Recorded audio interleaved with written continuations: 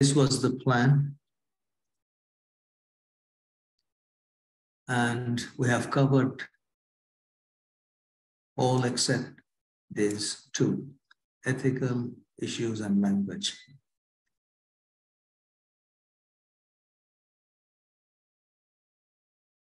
And originally the plan was that we would cover ethical issues on the 10th of September and language on the 10th of, uh, on the 11th of September. But looking at your attendance, I think I will stop today. So I'll try to cover both these uh, in today's lecture. First, ethical issues, and if we have some time, then we'll uh, cover the language. Let's go to ethical issue.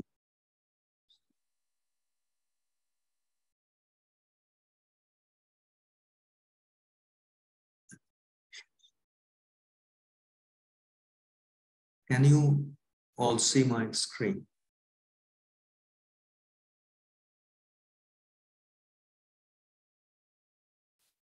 Can you see my screen?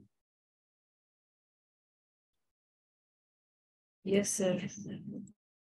Okay, so the first thing is ethical issues in publication. Uh, it will be composed of two sections mainly. The first one is a small one where we deal with what are the responsibility of a researcher in general terms. And then we look into some specific things related to publication. And some of the points that we will cover are plagiarism, redundant publication, duplicate publication, data fabrication, falsification, authorship dispute, conflict of interest.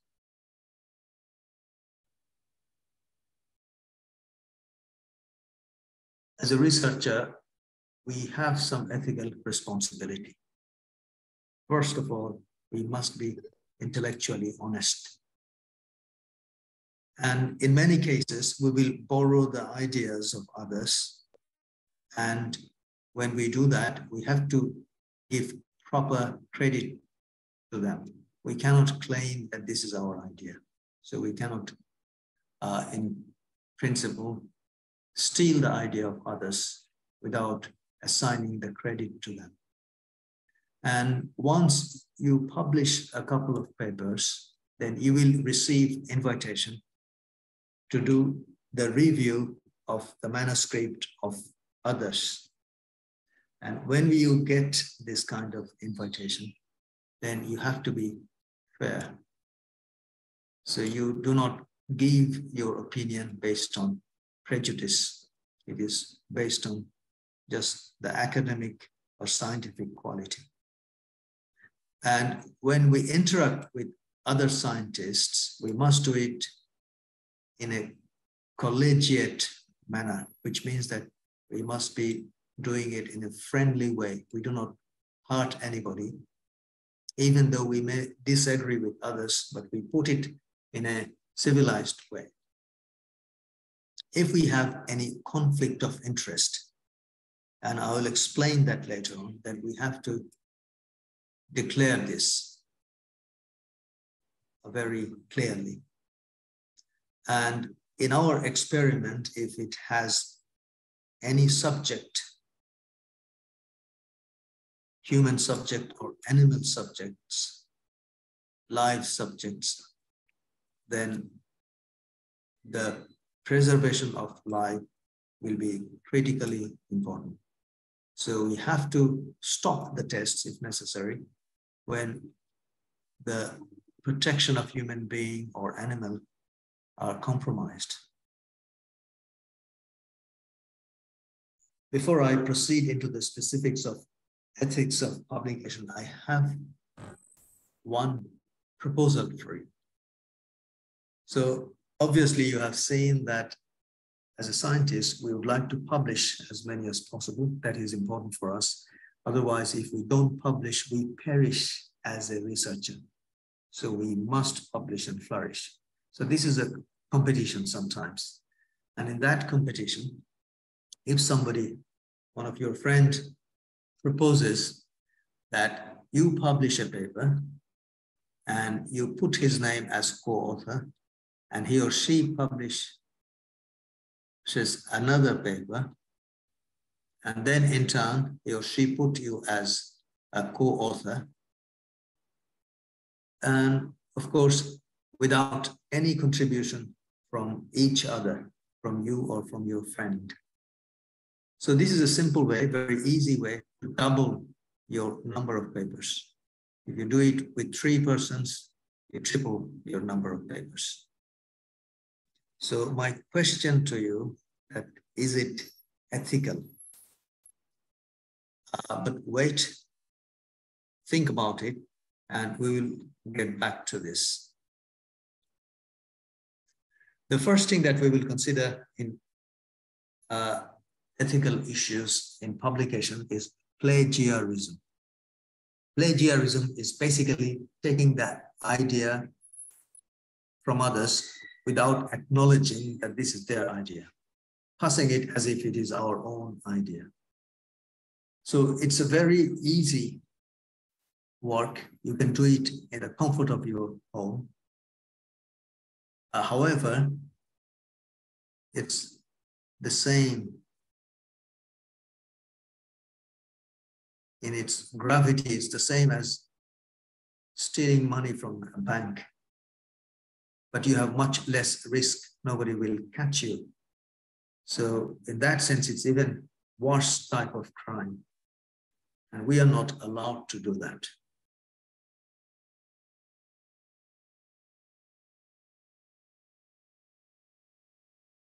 So the definition of plagiarism is that we take the work of another. And in a way, we copy a figure, a table, or some words from published or unpublished paper written by others and without attribution. We don't mention that we borrowed it. So this is something that is considered to be one of the heinous crime in academia. And it's easy to avoid them. So first of all, you have to cite the paper from which you borrowed. If necessary, you have to get the copyright permission if you want to uh, include that in your paper. And when you get the idea from others, you do not copy and paste. You have to write in your own way and also give reference. So that is the way we avoid them. Let me give you some more ideas. So to avoid this plagiarism, we have three options. So first of all, we use direct quotation. So you write down what others have said within the quotation, and then you give the name of the person. And in science, we usually don't have this practice. This practice is quite common in non-science disciplines like social sciences and others. What we do in science is we paraphrase what others have written and then write it in our own way. Of course, we have to give the reference. Or if it is a bigger paragraph, then we summarize them and write the summary in our own style, and then we give the reference. So whether you paraphrase it, put it under quotation, or summarize it, or give the image or ideas or the facts, you must cite them. You must refer to them. So that is the sure way to avoid this crime of plagiarism. Now, paraphrasing is quite common in scientific writing. And let's see how we can do the paraphrasing. When we paraphrase, we rewrite it basically in our own words. And when we do that, it must have certain quality which means that it must accurately reflect the meaning of the original writing. So that is the first thing. Second thing is you do it in such a way that you change the writing style, wordings, etc. of the original source. There are a few ways it can be done, and these tips will probably be helpful for the beginners. So the first step is that when you want to paraphrase a certain topic, certain areas, you read them very carefully. And then you identify the central concept in that paragraph.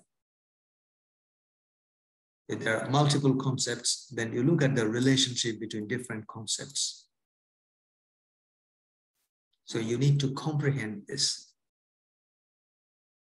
And then you think about inverting the structure of the central concepts. So if you have two concepts, C1 and C2, for instance, uh, written in this sequence, so perhaps you can think of writing the sentence in such a way that C2 comes first and then C1 comes later.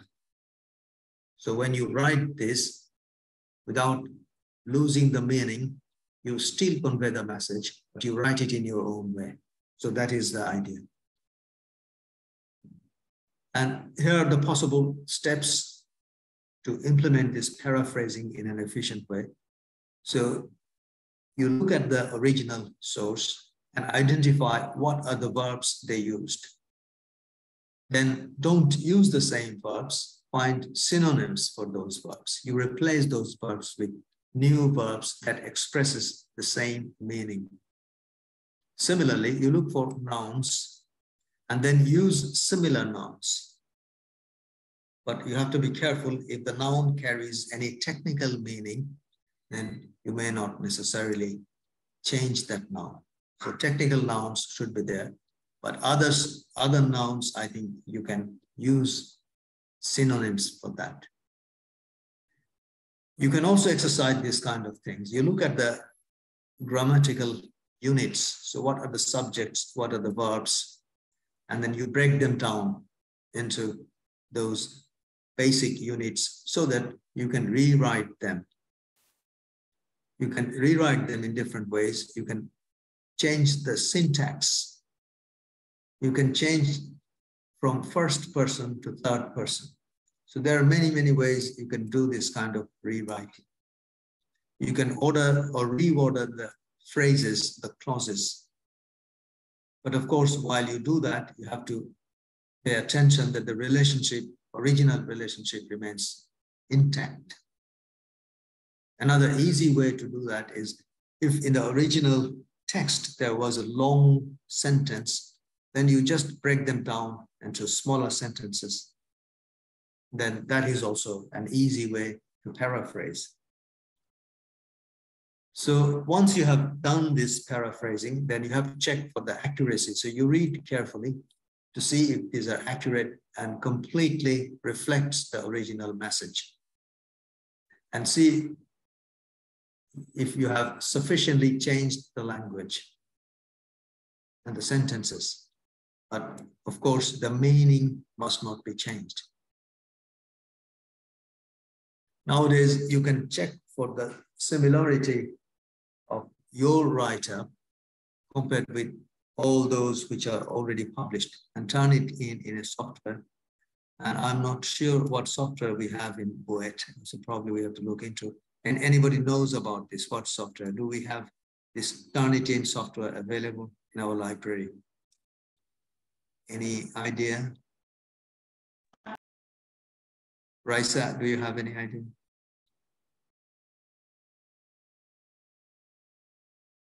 If not, you you can. Is Turnitin as available? It's quite popular. Anyway, so the next type of problem that can arise in publication is what we call redundant publication. The definition of this redundant publication is that we use text or data from another paper, which was already published. It could be our own paper. So we take the text, we take the data, figures, tables from one of our previous publication. This is also called self-plagiarism or auto-plagiarism. And this is also bad in the same sense. To avoid this, it's easy. So what we have to do, never include material from a previous paper. So if you stick to that principle, then you will not commit any such uh, ethical uh, issues like redundant publication.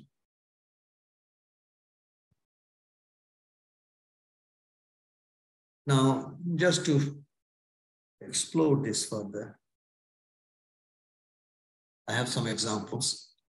So when you compile a paper, you usually go and present it to some conference. And sometimes the conference doesn't publish the whole paper, they would publish the abstract. But then you come back you get some idea from the audience, you talk with your supervisor and other friends, and then you got more ideas. You want to make the paper complete now. You want to publish it in a peer-reviewed journal. So the question is, if you do that, you first present and then publish it. Is it a redundant publication? What do you think?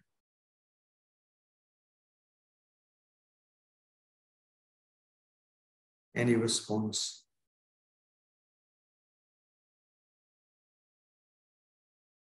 Does it constitute a redundant publication?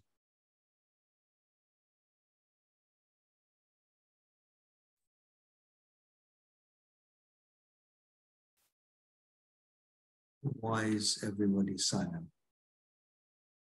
Is it difficult to answer?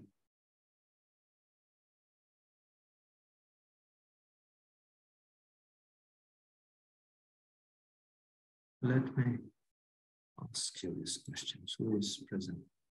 Today we have a few people. Maybe I ask Rashidul. Rashidul, what do you think?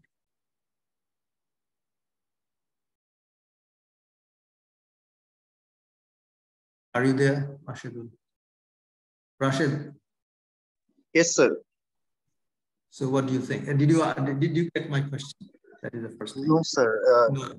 If you please repeat the question. Okay, I will repeat it.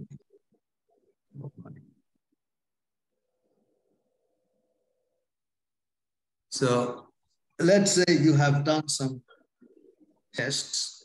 Your supervisor asked you to write a paper and present it in a conference. And you write the paper and you go and present it in a conference in the conference, sometimes they publish the abstract. So it was published in the conference book. Then once you come back, your supervisor asks you to enhance and enrich the paper and then send it to a journal for peer-reviewed publication. So do, do you understand this situation? Yes, sir. Now my question is, will it be a redundant publication? What do you think? It depends on the weightage of the data. So if the conference data weightage is uh, is marginal, but the total work is uh, very much larger than the conference data, then it should be uh, it may be a uh, mm, maybe a, a good to publish uh, without act like redundant data. Okay, you, you are close to correct answer. In fact, when we go to a conference, normally we don't sign any copyright form. Copyright means you give the right, commercial right to a publisher. So for conference, we usually don't do that.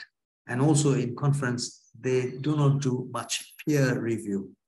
It's just to present the first idea. So whatever you present in the conference, you can still publish them. It doesn't constitute a redundant publication. So that is the thing. So all of you should be should feel encouraged to go and present your paper in the conference, and then later on you present the enhanced version, uh, publish the enhanced version. So that shouldn't be a big problem. However, there are some conferences where they will ask you to sign the copyright transfer form. So in that case, you have to be used, uh, careful and talk with your supervisor. But still, I, I think you can publish. The second one, you have the same data and you write a paper. So it's, it's exactly the same data. You write a paper and you publish in journal one and then the same paper, you just modify here and there a little bit. You publish it in another journal, journal two. Will it be a redundant publication? Who I can ask now, because you tend to be shy. How about Aliful Islam? What do you think? If you don't understand my question, I can repeat. Aliful? Aliful Islam, are you there? Yes, sir. What do you think? Is, is my question clear? Uh, yes, sir. Okay, so give me your opinion then. Same data, you go and publish to two different journals. So it is not acceptable. As same data another paper. Same data you publish in two journals in slightly different form. Will it be a redundant publication? Is it ethical? Is it allowed? So that is my question. Uh, so it is not ethical. Uh, Aliful, I, I think I have problem in listening to you. Some of you, did, did you hear what Aliful saying? Aliful, can you try again? Yes, sir. It is not ethical, sir. It is not ethical. Okay, yeah. Yes, it is true. It's not ethical, really. This is redundant publication. Yes, no uh, confusion there. Another one, data on website. I think I, I will not go into those days, depends. Another one, expansion of published data set. So that means so you published a paper, you include some data, and then you use the same data, and then you make some addition there. And then you published it in another journal. Then what do you think, Aliful, this time?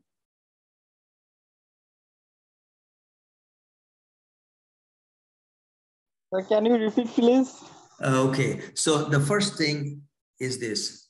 You gather some data and then you write a paper, you publish it in one journal, J1. And then after a few months, you get use the same data. So this is the data. And in the meantime, you conducted some additional experiments. So you add them together. And then you use everything. Now you publish it in another journal, journal two. So my question is, is it redundant publication?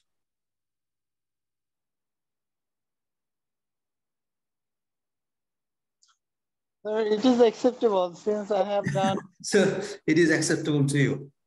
And uh, is there any other opinion? Any other? Shahriar, what do you think?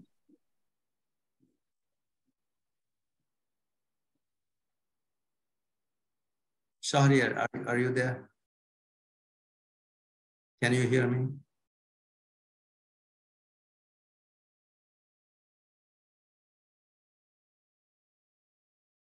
Who is that? I saw somebody. I still see Shahriar. Is your device okay? Can you hear us? Assalamu alaikum, sir. I can hear you, sir. Okay, so what do you think? The problem that I just presented. Do you think it is a redundant publication? So for uh, last few minutes, I was not present here, sir. So I didn't hear the problem. Uh, anybody else who can do that? So let me see. Who was present? Raisa was present, definitely. Raisa, what do you think? Uh, sir, uh, it uh, won't be a redundant publication. So you agree with Aliful, basically? Yes. yes. Yeah, okay. But actually, this is also redundant publication. We are not allowed to do that. Once something is published, republish them, unless you publish a review paper. You cannot publish, use the same data in another research paper. This is not acceptable. So there are many other ways I think I will not go into detail. Now, we have covered plagiarism. We have covered redundant publication. So redundant publication means you never publish something that you already published. So that is, if you follow this principle, then you will not fall into this kind of problem. The next one is duplicate publication. So this is how the duplicate publication is defined. You submit, you write one manuscript, and then what you do is you send this manuscript simultaneously at the same time to different journals, journal one, journal two, journal three. You are in sir, a... I have a question. Yes. Um, sir, if I um, work, if I write a journal. And then uh, after a time, certain time i thought uh, think and then i realized that i can extend it. And then i again uh, um, uh, just i copy my own table and add some some data and find some different type of um, uh, different type of um, objective or different type of uh, uh, certain uh, um, what to say uh, I, I, I think I, I results results right. exactly results some right, different type of results. Then is it is it also a redundant uh, publication? Uh, normally the thing is yes it is considered as redundant there is a reason for this because when you publish this amount of data in journal j1 you have to sign a copyright form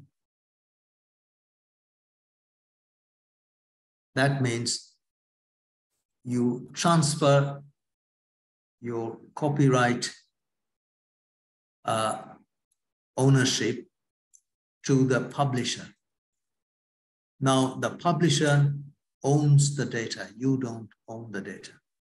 So if you use the same data in another paper without the permission of this, then he may sue you in court because this data do not belong to you. So that is the typical arrangement. Even but, if, but if it's mine, it is not yours anymore. So normally there are two ways to publish. Two types of journals. One type of journal, their authors do not pay. Authors do not pay any money. Publisher bears the expenses and they own the data. You have to transfer your copyright through some legal document you have to sign. So publisher is the owner. You are not, this data do not belong to you legally. So this has to be very clear. However, there are other types of publication which are called open publication, open there you publish something as an author and you pay. So you have to make the payment. You have to send the money and you own the authorship. not the publisher, because you published, you make gave the money to the publisher to publish it. Even if it is the case, you are not allowed to republish the same data. It is not considered to be as a good practice.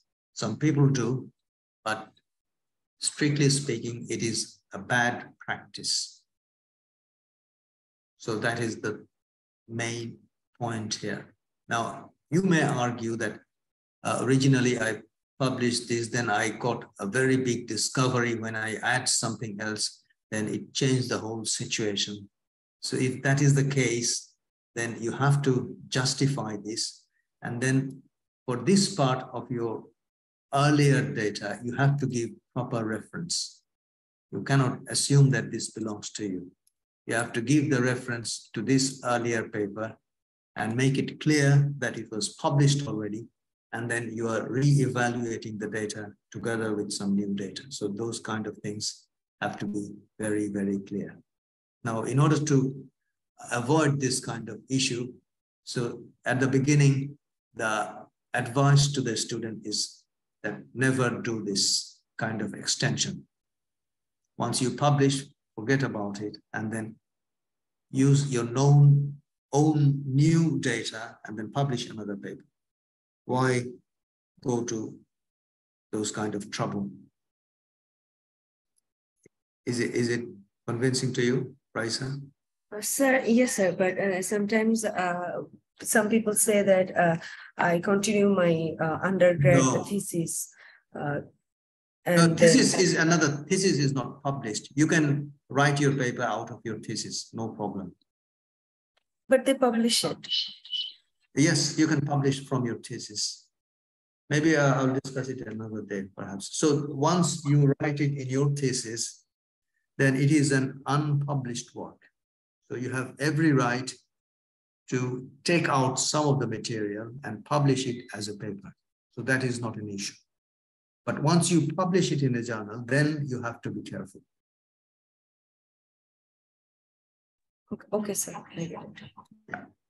Okay. So as for duplicate publication, as, as I mentioned, so you have the same paper, you send to three journals simultaneously. And you are lucky, you see that there are two journals who published your paper at the same time. And this is called duplicate publication. And this is considered to be very unethical in science. You cannot publish thing in two journals. In order to avoid that,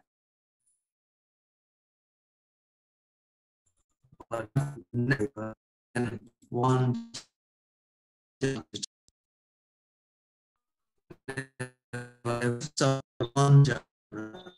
and wait until it is checked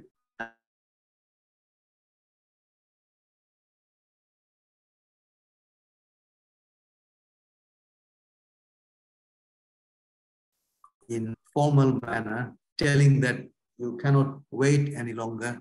You are checking out your paper and you will submit it elsewhere. So you have to write it in a very clear way. So this is duplicate publication. Any question so far?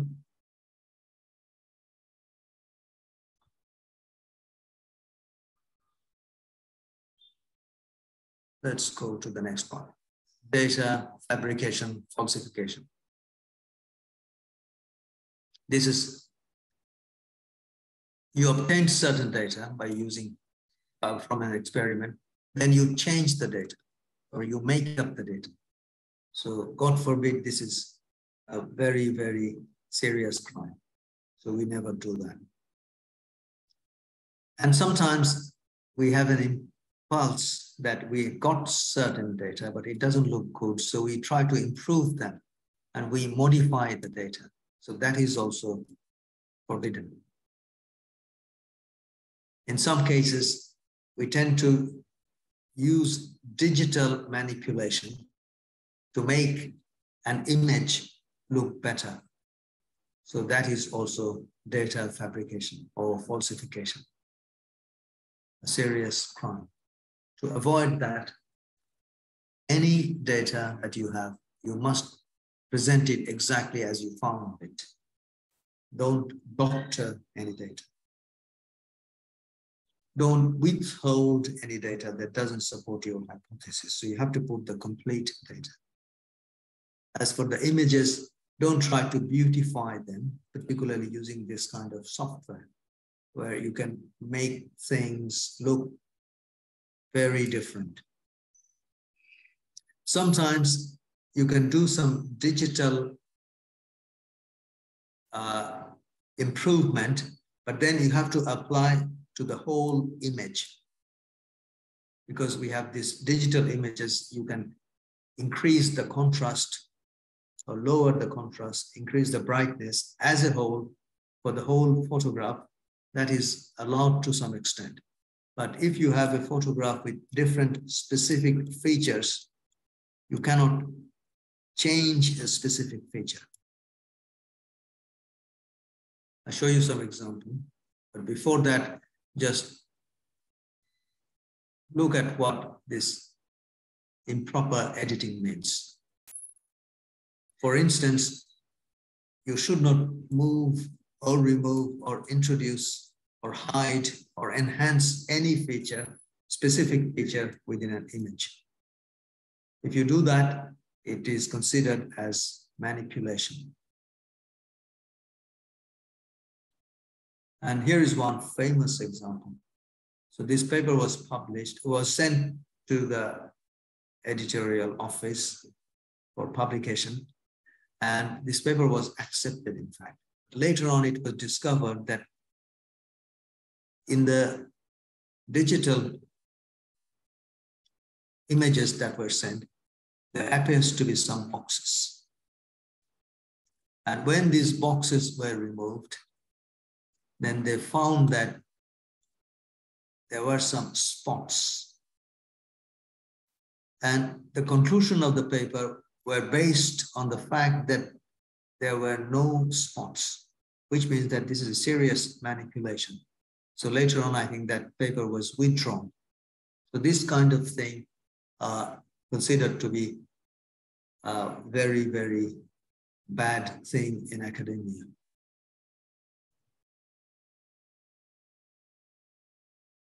The next one is authorship dispute. So you carry out your work. Sometimes others will help you. Your supervisor is involved. Another professor or another fellow student may be involved in the work that you are doing. Now, who are eligible to be the co-authors in your paper? You have to have a clear idea about this. And we must do everything. Authorship dispute. The definition of authorship dispute is that arises when we add authors, we take out the name of the authors, we change the order of the authors. So this kind of things will constitute authorship dispute. To avoid that, we have to discuss these things even before we write the paper. Talk with your supervisor. And even before the study, in fact, that is possible. And then agree upon who should be the authors, what should be the order in which the name of the authors will be placed. And we must ensure that all authors meet the criteria for the authorship. And there are very clear criteria for authorship.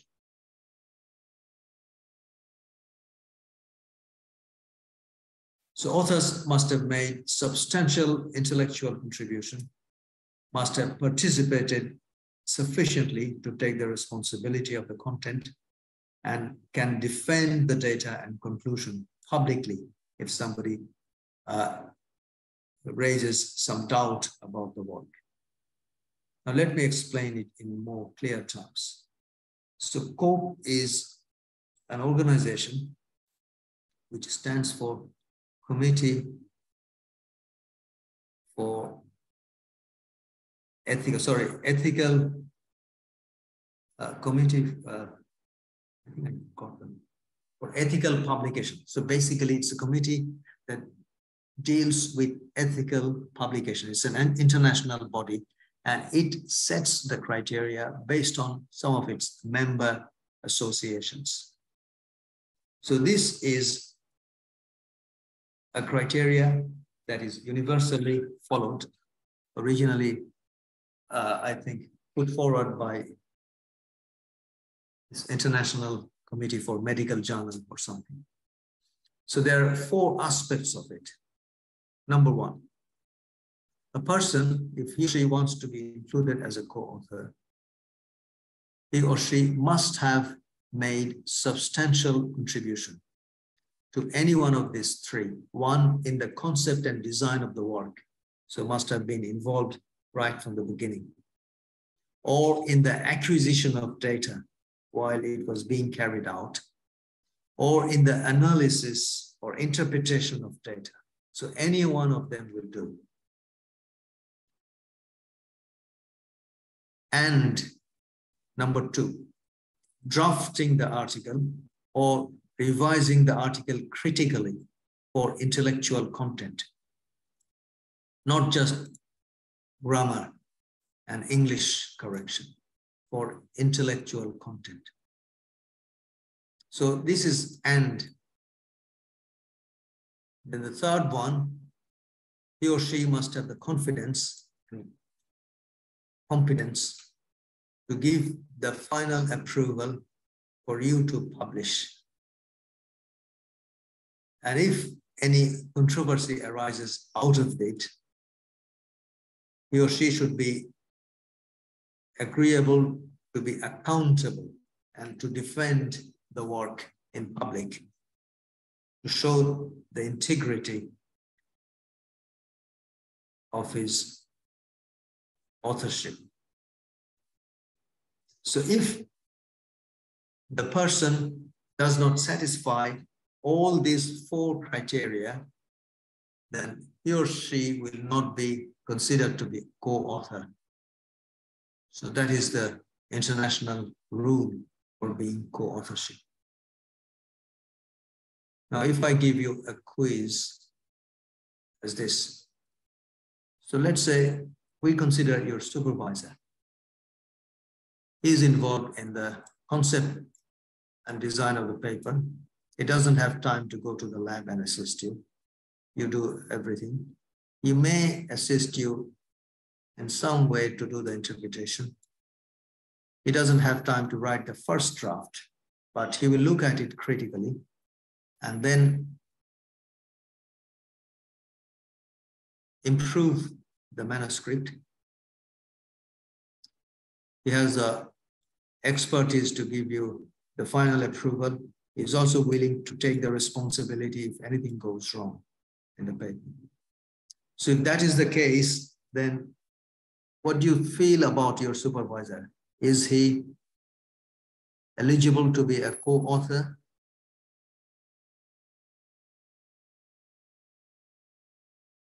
Does he meet all four criteria?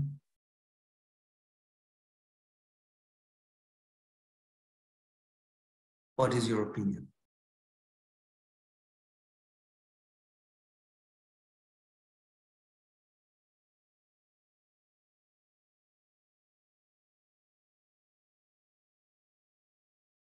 Is my question unclear?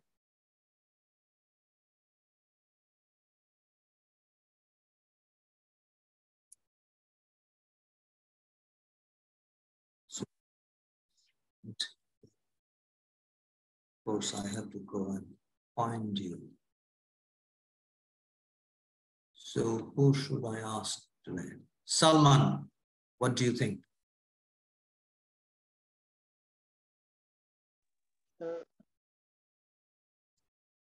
First, did you get my question? Salman, are you there?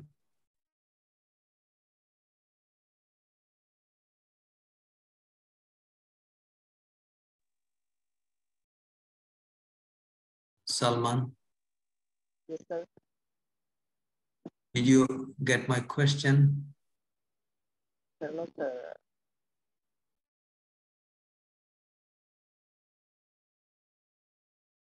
How about others? I see some new names there. Mirazul Haq.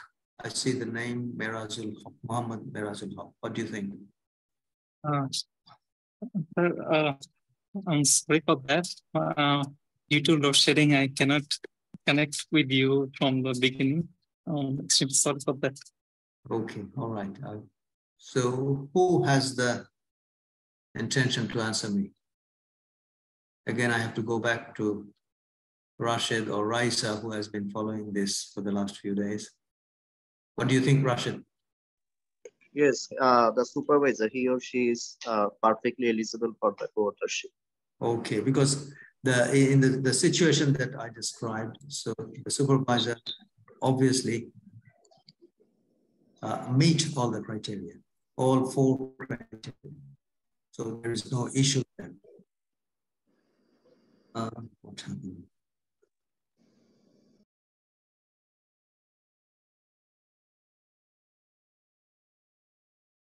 Okay.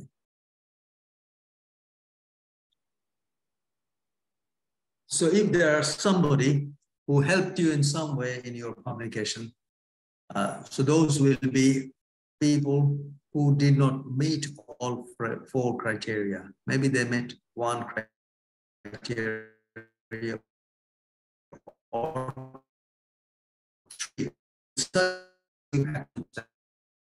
acknowledgement towards the end of the paper, contribute, telling what contribution they made, but they are not supposed to be your co-authors. And these are the examples when the authorship is not uh, ethical just for one activity, like acquisition of funding, somebody gave you the fund to carry out the research in the lab. So you cannot give them the authorship just for giving the funding. Or somebody who is collecting the data in the lab. He or she doesn't participate in any kind of interpretation or designing of the experiment and so on, then you can acknowledge them, but they will not be your co-authors. Somebody helped you in writing, in correcting the English that is also not enough to be a co-author. Somebody did the editing, language or technical editing, proofreading. So they are not supposed to be co-authors. I think that's all for this, except that we have this conflict of interest. And for conflict of interest, I'll just give you one example and then end it here. So for instance, that uh, you are working on a project where the company is giving you some fund or giving your supervisor some fund. And you are working on the product of the company. And your data is collected on the products produced by that company. Now, if this is the case, then this is a clear conflict of interest. And you have to declare this towards the end of the paper, you have to declare this conflict of interest, saying that your work received fundings for research from that company and the sample was collected from that company. And it must be made very clear so that the audience can judge themselves if they want to believe you or not.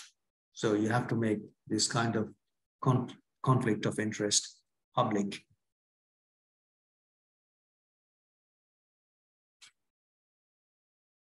Okay, now I come back to my original question.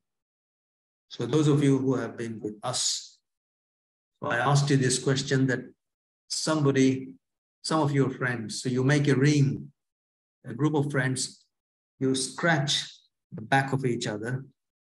So you give the names of each other in your papers. So if you have three, which means that at the end of year one, all of you published one paper, but in fact, you have three papers because you gave the names, but of course, without any contribution. So the criteria is that there has to be four types of contribution that we just described. So in such a case, what is your opinion? Is it ethical?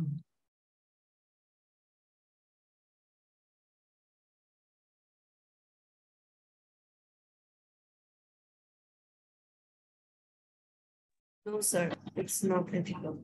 So it's not ethical. So we have to be very careful about this. So I think we have done uh, the whole thing. We have first looked at the responsibility uh, as an ethical researcher.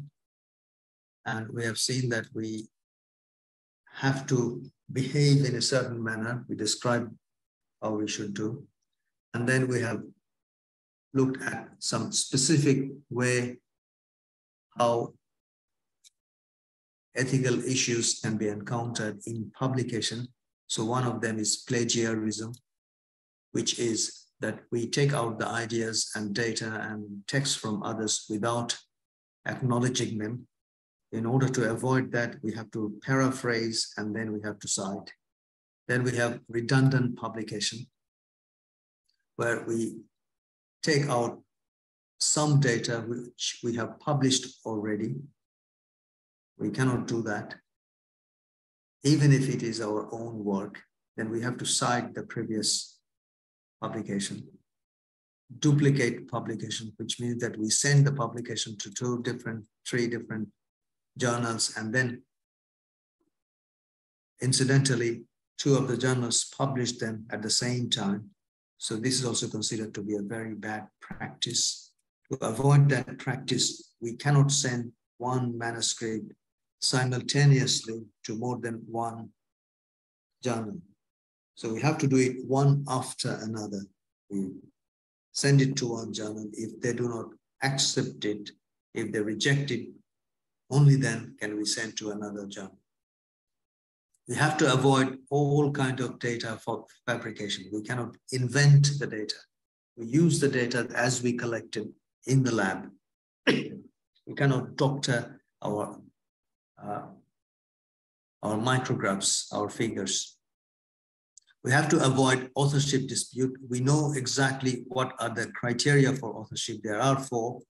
And if somebody doesn't meet all four criteria, they cannot be co-authors. If someone meets one criteria or two or three, all of them do not meet the authorship dispute, strictly speaking.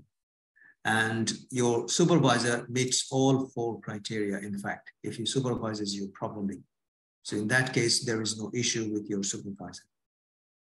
Then we have conflict of interest. If there is any conflict of interest, we have to declare this uh, publicly. So I showed you this before. Just listening to me is not enough. Then you are learning.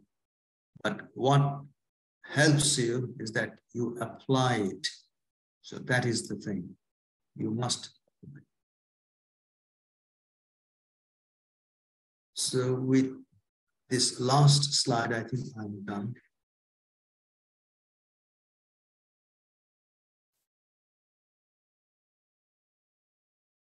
And as for the English, since I promised that I'll cover some English, and let me just quickly show you some slides.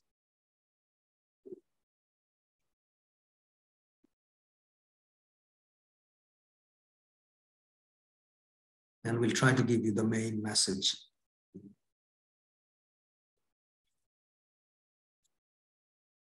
So the main message that I want to give you as for language is that language is extremely important for you.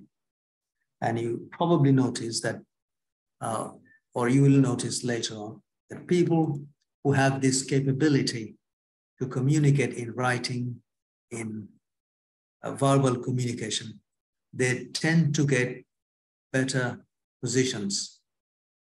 And in their career, they tend to be more successful so as a young scientist, a uh, engineer, or young professional, if you feel that your language skill is not enough, then you must do something while you are studying, because otherwise it will be difficult for you to improve yourself.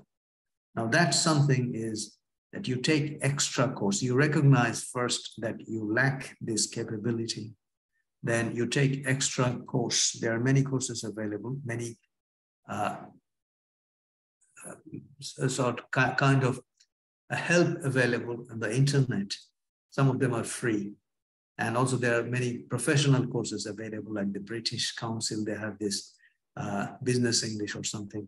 So you have to improve your skills and there is no alternative to this.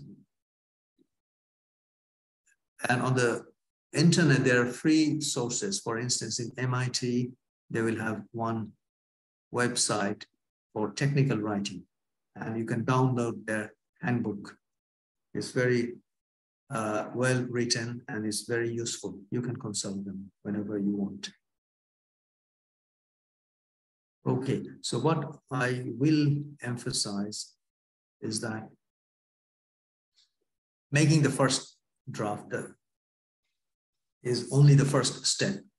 Your writing involves a lot of rewriting.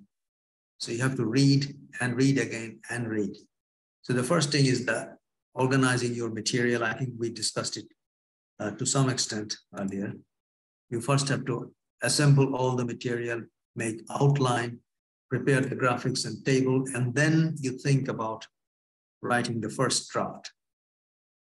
And after you write the first draft, then you have to revise this. And this is not correcting the grammatical error. You look at it from different angles and see the format, see the organization, see the content. So that bigger things in your writing, the bigger mechanics, you have to look at it. And it's not just once, you may have to do it three, four, five, six times, even more. You have to look at it. And then you look at the sentences and words, make it them concise, make it them clear and coherent.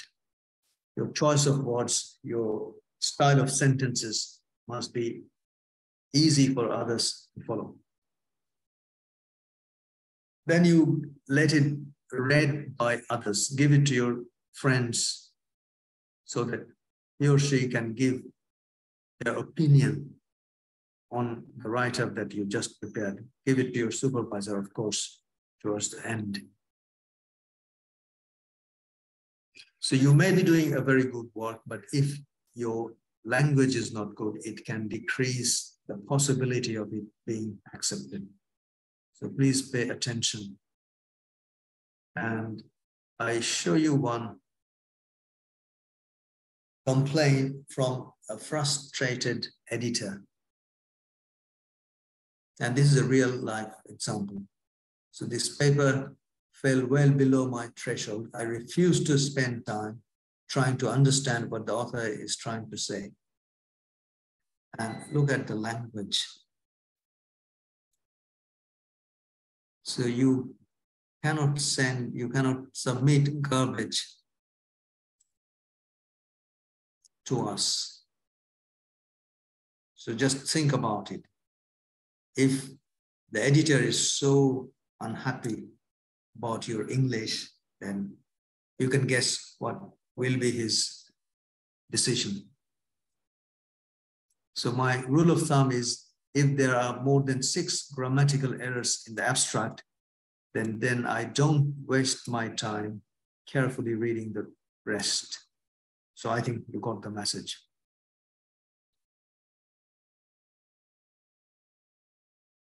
So a scientific paper has to be clear, objective. It doesn't have any extra material. It's to the point. And it is written in a logical way, in a linear manner. It's not complex. It should be simple. And you have to understand the difficulty of the reader. So you have to write it in such a way that this is easy for others. It should be as short as possible. Take out all unnecessary material.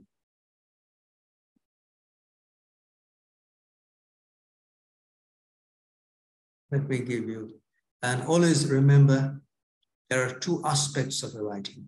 One aspect is from your side, from the author's side, and another aspect is from the reader's side. So you have to write in such a way that you consider adequately the perspective of the reader. Only then can you become a successful writer. And typical uh, small things that you can utilize to make it easy. First of all, all sentences must be short. You should not write long sentences because long sentences have higher risk of containing grammatical errors. So if you follow this simple rule, then your writing will be improving. And normally the length of sentence should be about 12 to 17 words, let's say less than 20 words. If during your first draft writing, you, if you write long sentences, then during revision, during review, you break those sentences down. If you find them, find that they are having more than 20 words.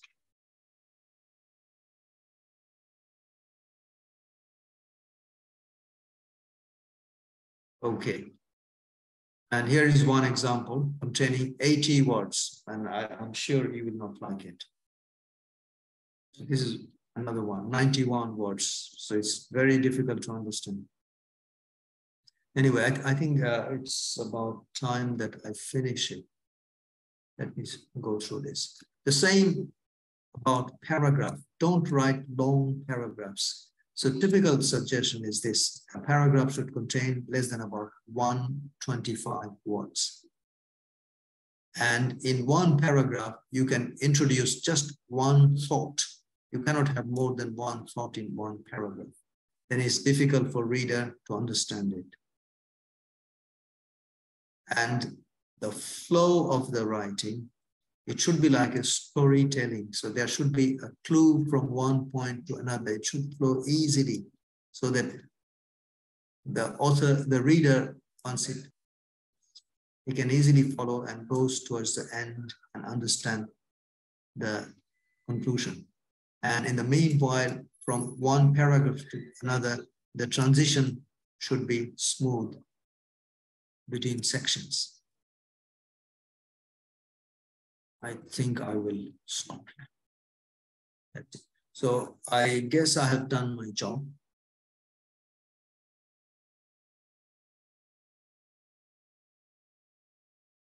Let me just get out of this.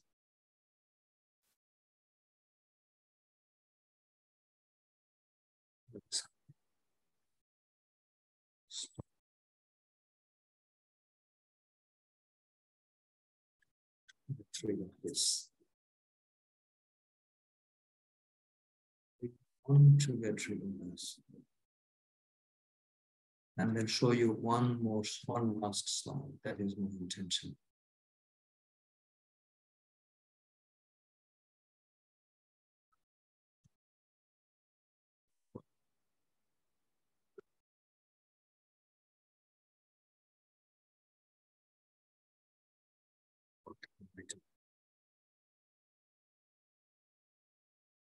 Laptop is not.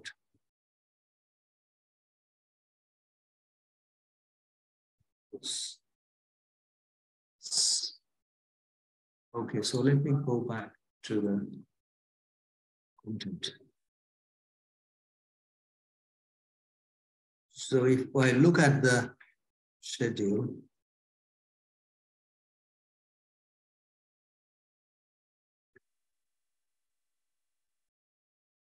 I have covered all my contents today up to up till now. So all the contents are covered. I didn't uh, touch too much on the language, but I gave you some essential ideas. That means I have nothing to tell you on the 11th of September. So you get free time, but please do come back on the 12th of September at 3 p.m. because we have our teachers who will come and spare some time and then give you some uh, good advice how they tackle and write good papers in different journals and submit them and also publish them in different journals. So there are a lot of experience uh, that we will share on that day. So anything